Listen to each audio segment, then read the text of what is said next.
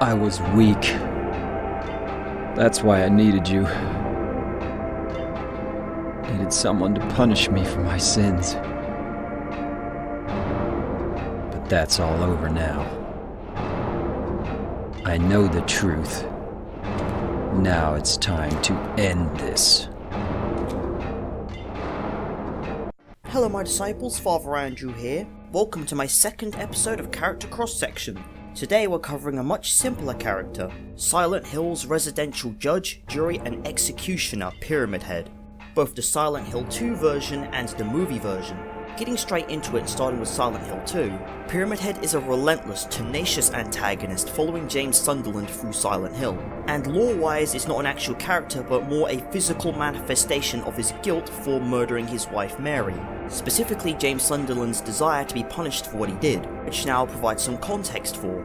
In Silent Hill 2, James Sunderland's wife Mary is diagnosed with what is essentially an untreatable illness and given three years to live. James tried to find a cure but couldn't find anything, and over the three years, Mary's mood became increasingly unstable and volatile, leading to James visiting less frequently. The frustration of dealing with the illness, combined with his sexual frustration, among the stress of dealing with her violent outbursts and knowing that she was eventually going to die of the illness, eventually James Sunderland snaps and suffocates Mary, that being a very basic summary of what happened. But what's important is that sexual frustration. It's the reason why in one pretty controversial scene, Pyramid Head sexually assaults two mannequin creatures and a lying figure. That comes from James Sunderland's built up sexual frustrations prior to killing his wife. I personally theorize that those built up sexual frustrations are why the nurses in Silent Hill are so sexualized as well, and it's kind of merged in with Travis Grady's possible sexual anxiety and his discomforts as well from Silent Hill Origins. But the nurses are a completely different thing. Anyway, James Sunderland, after killing his wife, feels terrible about it, feels like he needs to be punished, and Pyramid Head is the physical manifestation of that, at least in Silent Hill 2. But anyway, from a pure writing standpoint, this version of Pyramid Head is incredibly simple and he works as an antagonist very well. And this is where I'm going to give a bit of writing advice. You don't need to make your villains super complex and multifaceted unless they're like a central point to the plot. In this case, Pyramid Head is definitely a central point in the plot, but he doesn't need to be any more complex than he is, especially with the context in how he operates. Which you know what, I'm just going to simplify. He doesn't need to be a complex villain because it's not the type of plot that demands such a villain. He exists literally as a reflection of the protagonist's wrongdoings, and that is pretty much it, that's all he needs to be. And with that, now we can talk about the Silent Hill movies versions of Pyramid Head.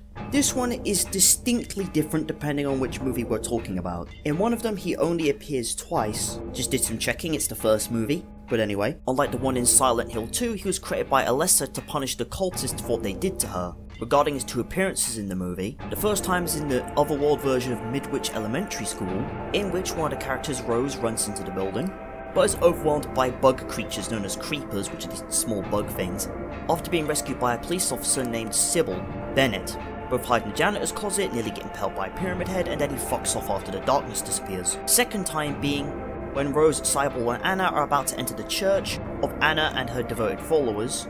Anna throws stones at Alessa's mother, the darkness shows up again, she gets gripped by Pyramid Head, in which Rose and Sybil watch in horror as the monster grabs her by the neck, carries her up the stairs, lifts her into the air, and just straight up skins her alive, then throws the skin at the church doors. So yeah, as you can tell, this is a very different version of Pyramid Head from the one you see in Silent Hill 2. Not only is his design different, the head being a basin shape and not a triangle at all because it was basically impossible to make an authentic replica of the original's head, and have it be constructed in a way where a person could actually move around while wearing it. And his body is not very deformed like it was in the game, instead being tall and powerful and pretty buff. So it's fair to say that the movie version of Pyramid Head is a different continuity from the games. And when it comes to Silent Hill Revelation, he's mentioned as a protector and assassin of Alessa by Heather Mason, is seen operating a carousel at Lakeside Amusement Park, and also helps Heather on a few occasions, which is very out of character for game Pyramid Head.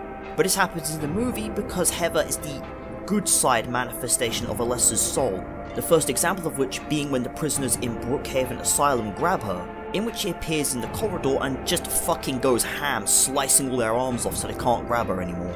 And towards the end in the Sanctuary, where Pyramid Head battles the missionary and kills it by decapitating it. and then just walks away after, despite getting injured several times. So yeah, it's very clear that the movie version of Pyramid Head and the games are two different continuities and two different versions. As I honestly can't imagine Silent Hill 2 Pyramid Head showing kindness to anyone.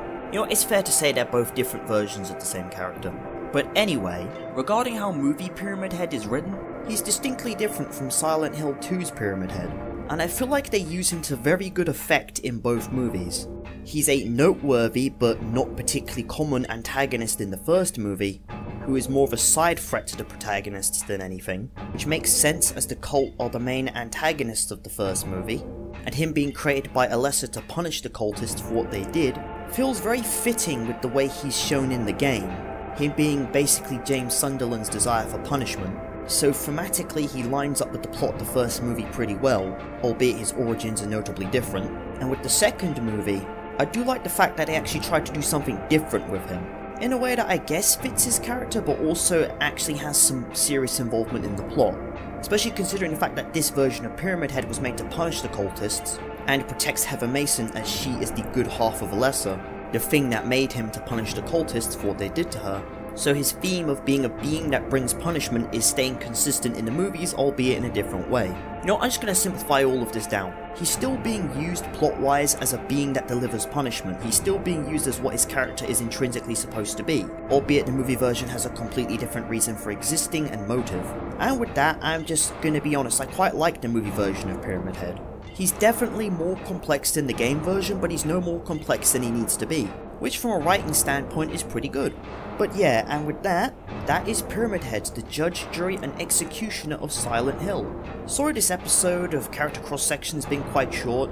I do plan to do longer ones that go into more detailed characters at some point, but there's no real schedule with these things, because I want to take my time with making them as good as they can be.